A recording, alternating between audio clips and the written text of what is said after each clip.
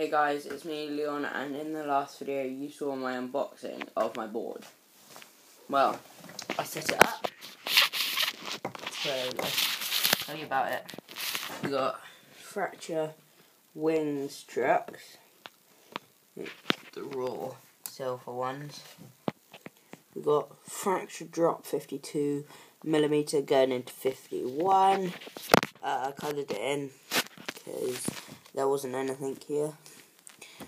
Um, we got fracture hardware, all in there.